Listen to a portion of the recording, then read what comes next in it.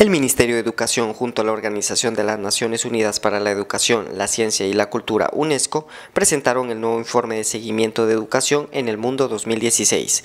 Esto para impulsar el avance hacia la totalidad de los objetivos mundiales que se formulan en la Agenda 2030 para el Desarrollo Sostenible.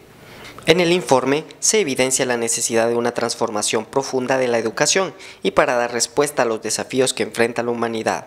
Por aparte, Óscar López Rivas, ministro de Educación, afirmó que uno de los desafíos de Guatemala es aumentar el presupuesto en educación el presupuesto del ministerio debería de ser ampliado en beneficio del desarrollo de proyectos y programas. No tiene sentido que el ministerio tenga un presupuesto exclusivamente para planilla y para algunos otros programas que ya son eh, obligatorios de ejecutar. Debemos de tener recursos necesarios para poder hacer innovaciones, para poder proponer programas, para poder resolver problemas claves como la infraestructura, por ejemplo, materiales, entre otros componentes importantes para mejorar la educación del país. Entre los objetivos más importantes, mencionaron que debe darse una educación de calidad, y esto se logrará no restringiendo los resultados de aprendizaje, sino debería incluirse en un análisis de las políticas, los programas de estudios, manuales de texto y los programas de formación de docentes que valoren los derechos humanos.